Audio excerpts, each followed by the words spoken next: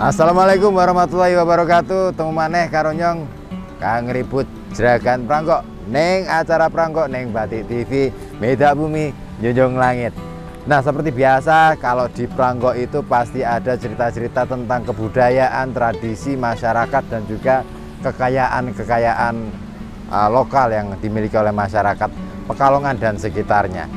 Nah, siang ini saya sudah sampai di Bendungan Gembiro yang ada di kawasan Kesesi, Desa Kerandon dan ini bendungan iki kuwi wis tiga tahun ora pernah dibuka terus akhirnya tahun iki baru akan dibuka. Nah, biasanya ketika pembukaan pintu air Bendungan Gembiro itu akan disambut antusias warga karena ini menjadi sarana mereka untuk apa ya istilahnya ya ciblon-ciblonan ya karo ngerayah iwak neng kene. Nah, kaya ngopo kira-kirane dan seperti apa, apa ya uh, sejarah apa yang terdapat dalam uh, bendungan Gembira ini kita akan kupas tuntas lebih lanjut neng Pranggo. Tetap neng kene neng Pranggo, midak bumi junjung langit.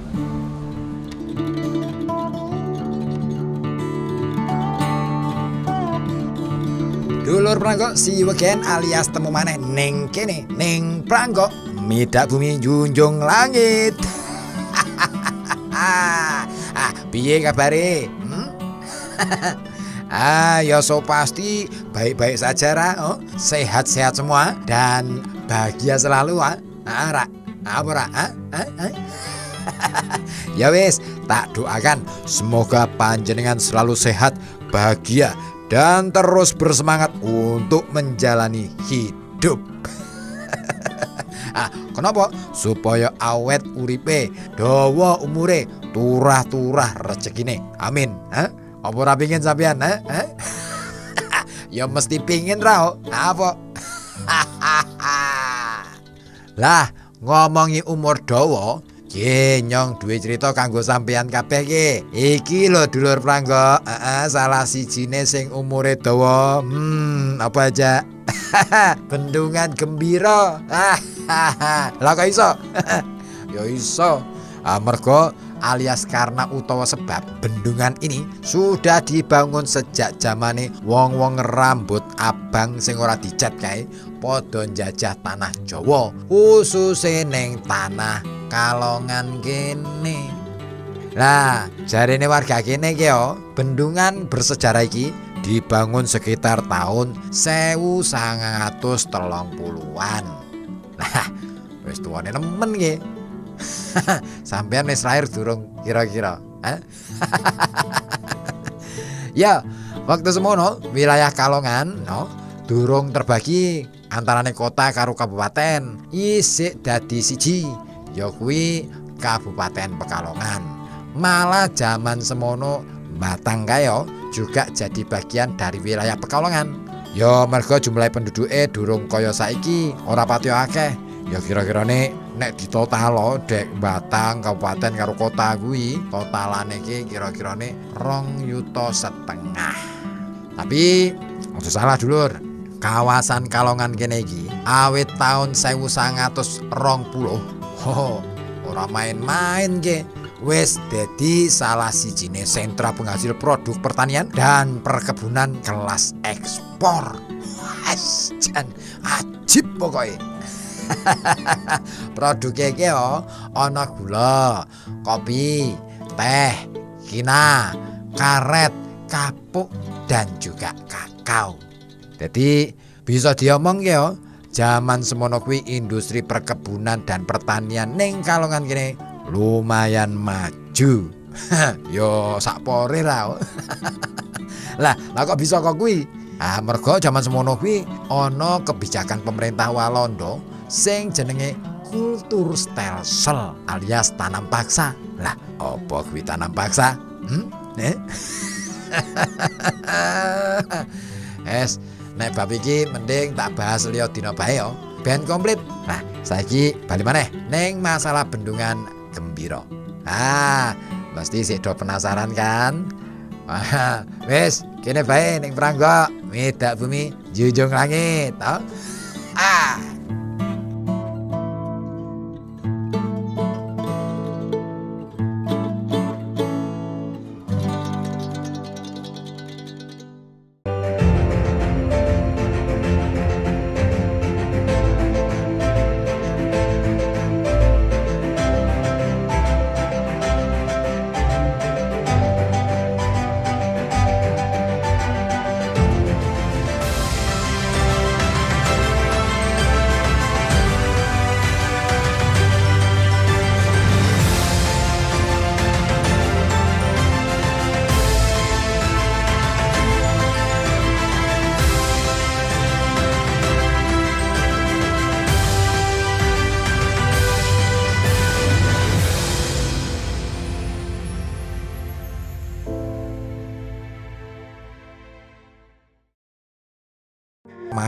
Kocar kacir ajur jur ajur.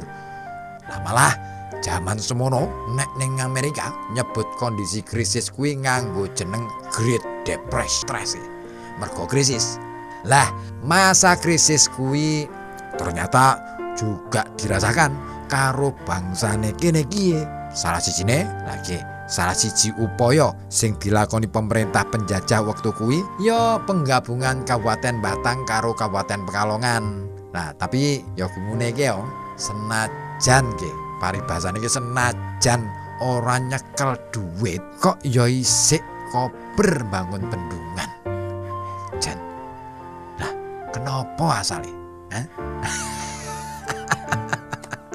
Iya, sing jelas zaman semono keberadaan bendungan kaya bendungan Gembira iki mestine sangat dibutuhkan untuk mendongkrak produktivitas pertanian dan perkebunan industri.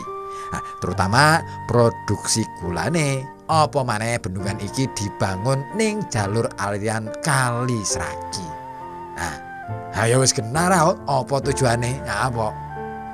Ya, pancen Zaman semono wong-wong pribumi padha bae urip nelongso. Heeh, pancen kok kuwi. Ya merga terdampak krisis kuwi mau. Tapi piye-piye bae mbambahe dhewe tetep berusaha bertahan urip. Apa bae dilakoni kanggo mempertahankan hidup. Mbambahe dhewe kuwi kudu bendung nafsune ben bisa urip uga ben bisa ngengei utawa nyisani apa-apa sing bakal bisa dinikmati karo anak putune karo awake dhewe-dhewe. Jan, kaya apa ya priyatine mbambahe dhewe jaman semono Jan? Hah? Kaya apa Jan? Hah?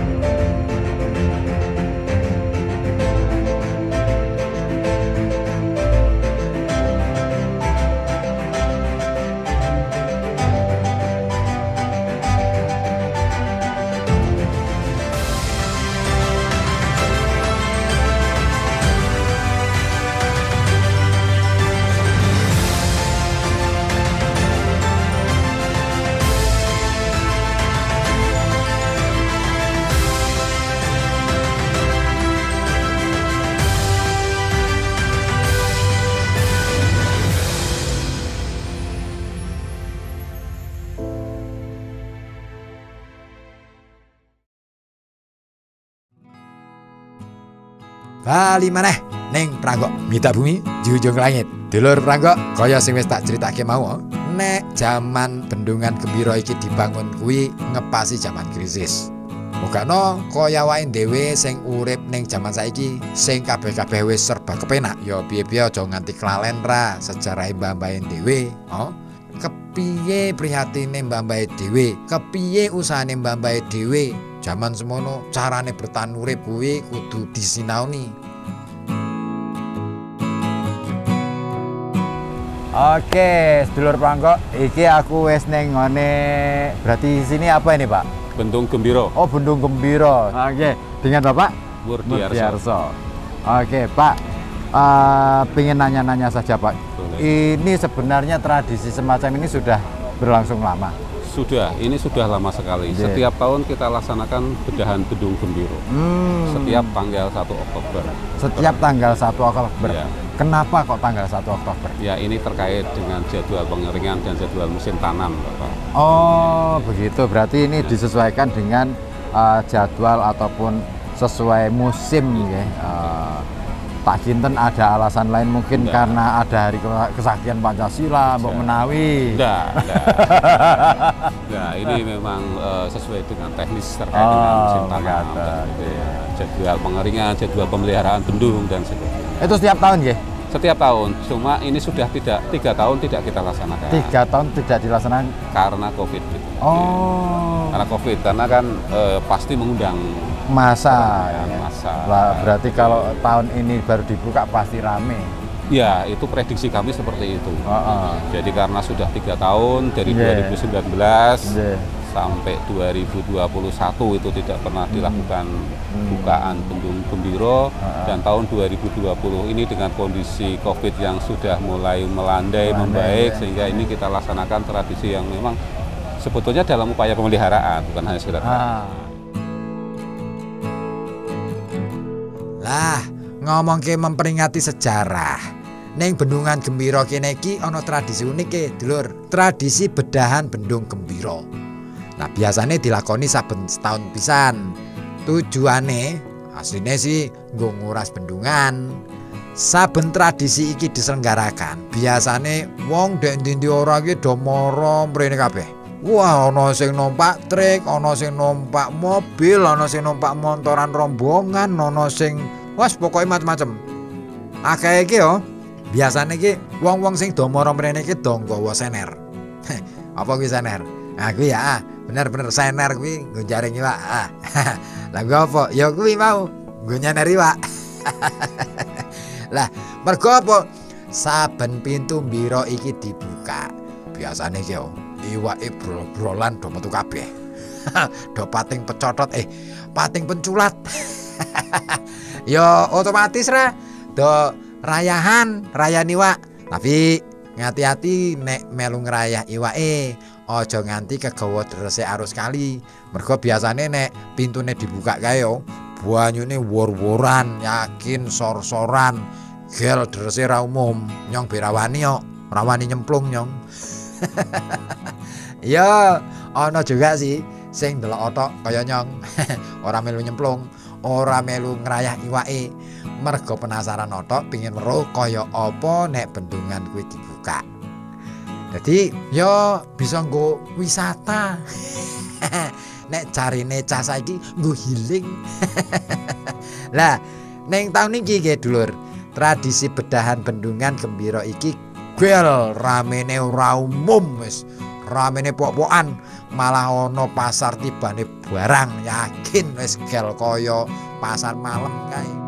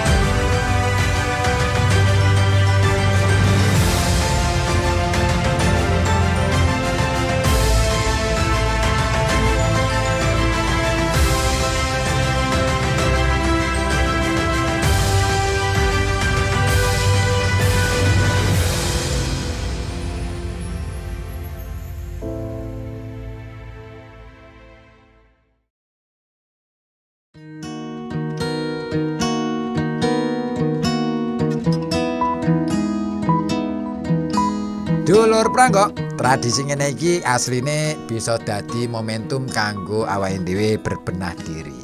Terutama sing urusane karo nata wilayah, nata lingkungan. Ya kaya sing tak omongke mau kae, tradisi iki sakdenese bisa dadi momentum mengenang masa lalu. Nek jaman semono kuwi Pekalongan pernah dikuasai karo bangsa penjajah, bangsa Londo. Lah terus bisa juga nggo mengenang kaya apa jasa-jasane mbah-mbah dhewe? Para pahlawan kaya apa rasane prihatin sing dirasake mbah-mbah dhewe? Ben bisa marisi apa bae sing bakal awake dhewe nikmati kaya saiki iki? Dadi ya ora mung melu ngrayahi wae tok.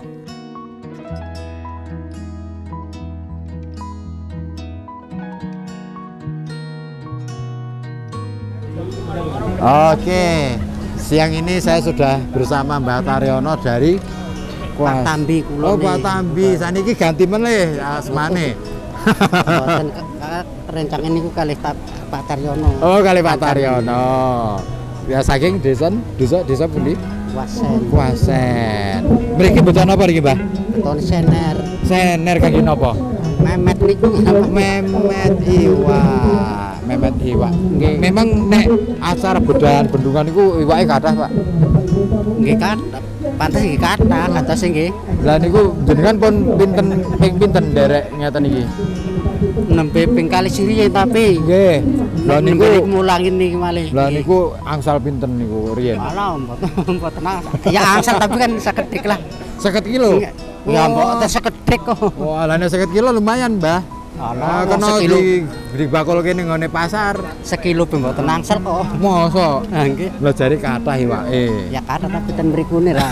Tapi kulone sing mboten angsal kata. Ah, lagi nek ten mriki mboten nenten iwake, iwake ten mriki leres. Nggih. Aduh, tapi seneng, Pak. Acara ngeten iki. Nggih, remen lah nggih. Oke. Berarti sudah dua kali eh, di acara ini. Ini yang berarti sing niki Pak kaping 3 nggih. Ping kali niki. Oh, kaping kali niki. Wah, Nggih nyobi-nyobi lah kados nggih kali sinten mawon di mriki. Kali Pak Caryono. Oh, sak rombongan. Nggih tiap kali nggih. Oh, tak pikir numpak doplak napa pripun? Mboten nggih. Nggih, nggih, nggih niku motor lah. Oh, motoran berdua Nggih, boncengan. Oh, nggih nggih nggih. Oke. Iki eh, pengakuan dari warga. Ternyata agenda semacam ini yang dinanti-nanti ya, Pak. Iya. Dinanti-nanti mergo iwake akeh. Wah, kena nggo lawuh, Pak nggih. Ya, Nek ento, nek ento. Ane ora ento, Ya, mboten menapa-napa lah. tapi mboten gelo ya. Ya mboten. Sing penting seneng-seneng, Pak. Nggih. Asik. Lah, saliyane kuwi bisa juga nggih nggo peringatan menawa awake dhewe kuwi wis wayahe kudu prihatin tur perhatian karo masalah lingkungan. Nah, kaya mau sing diaturke para penggiat lingkungan ning kene ya, ngajak warga kabeh ben ora ngguwak sampah ning kali. Ben padha-padha njaga kaline ben resik. Lah nek bendungane resik, kaline resik, lingkungane bisa sehat, awake dhewe juga melu sehat. lah syukur-syukur iki ditata meneh, diapiki meneh, dadi akhirnya bisa dadi destinasi wisata. Luwe-luwe pas tradisi bedahan bendungan ki diselenggarakan bisa ki dadi wisata budaya. Bisa juga digarap luwih dahsyat meneh. Ben bisa narik wisatawan saka mancanegara kono kae. Ben teko rene ndelok kanan kene. Terus ben weruh bahwa bangsane dhewe kuwi duwe sejarah agung. Nah ara ben do sinau ben iso ngormati bahwa bangsane dhewe juga duwe sejarah sing ora kalah karo mereka-mereka. Nah kok ah, piye? Pernah iki piye? Ha piye piye aja yuk dipikir bareng